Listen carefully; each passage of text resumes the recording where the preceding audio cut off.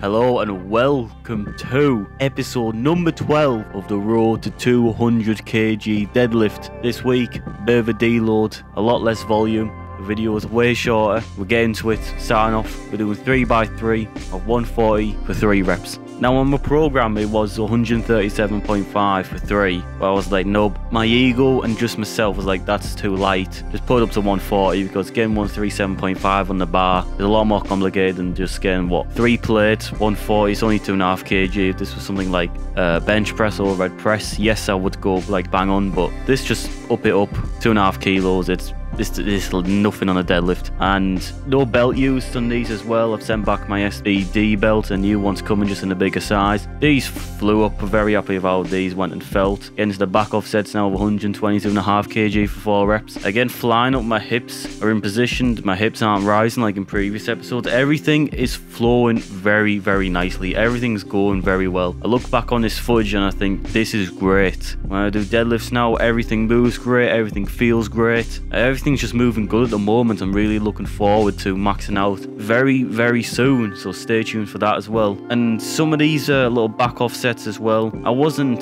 pulling the slack out the bar. My coach pulled it up about me, and I, I, I don't know. I just wasn't doing it one or two reps. For these, you probably can't tell from the footage, but I was just kind of just yanking it up, which isn't good because I just like hurts my lower back as it gives a lot of tension in the lower back when I pull the slack out the bar everything just moves now again on the Thursday of conventional 122 and a half kg for five reps for two sets. Again these just flying up but I forgot well actually I didn't forget my camera just died on me for the second set so this is the only set you get to see a front view and everything's just moving fine again. This stuff for some power squats and some benching as well so I'm a, I'm a bit fatigued but I'm still getting the work done. No belt or chalk necessary for this. Again 122 and a half kg for five reps. That's just very lightweight to me as well. I'm like well, I can do that easy, don't need any accessories. And I, and I do believe for myself that accessories should not be used till I'm at the 140 kg mark, whether that's chalk or a belt for that matter. Don't. For me, it's like, do I need any accessory help just yet? Not really. These are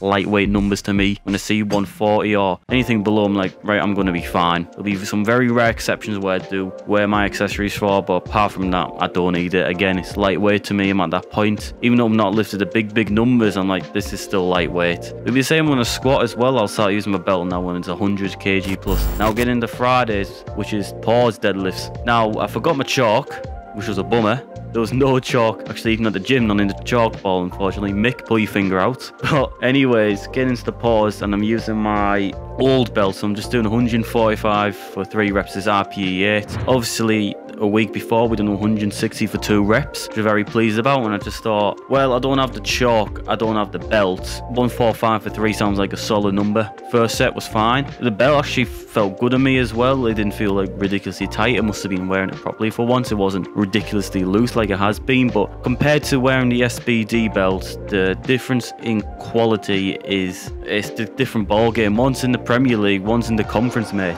It's like that as well. And honestly, I'm quite happy with how the these moves didn't have chalk, my belt, 145 for 3 and pause. Pause is a variation that's harder than just conventional deadlift I feel as well. And I'm very happy with how far the bar came, but it didn't come up, up very much at all, which I'm very happy about. The speed was good. But again, the pause deadlifts moved very well. Happy with them. Pulling the bar up, like I said, a little amount. Pausing one, two seconds because you feel it a lot more than compared to when I've done it before. And you have seen in the previous episodes where I don't pause for very long. I'm just going up with speed or my pause is like halfway up my shin basically where it's not as good and as effective as compared to literally just a tiny bit off the floor and then pulling it. If you've done it yourself, you may agree with me with what I'm saying. If you don't, then that's fine. Everyone's different. That's just for me the way I've done it, the way which feels the best for me, where it just feels great. Again, my glutes, hamstrings, my back, lower back, everything feels great when it's just a little pod, everything is going good. So thanks for watching episode 12 the road to 200 kg deadlift. Bit of a short one, again, not a lot of volume, but stay tuned for the next coming weeks where we're putting some serious, serious weight on the bar and we're getting ever close to attempting the 200 kg mark. Well, now I'm smiling just saying that. So yeah, thanks for watching. Hope you've enjoyed this episode.